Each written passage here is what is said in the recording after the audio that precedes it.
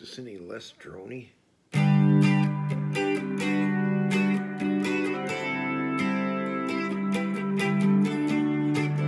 Jesus said, I am the light of the world, and if you follow me, you'll never walk in darkness again.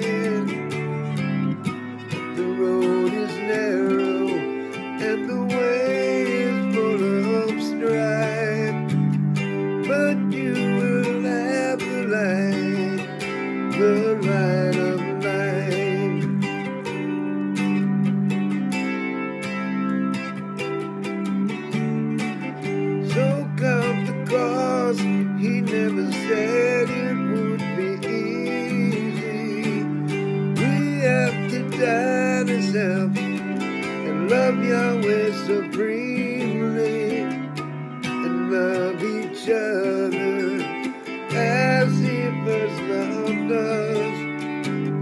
He sent the Holy Spirit to help us walk in love.